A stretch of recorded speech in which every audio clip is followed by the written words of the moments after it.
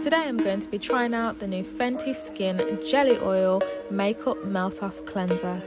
It claims to remove waterproof makeup, sunscreen, dirt, oils and impurities, all whilst hydrating and nourishing your skin with 9 luxury oils such as grapefruit oil, rosemary oil and shea butter just to name a few.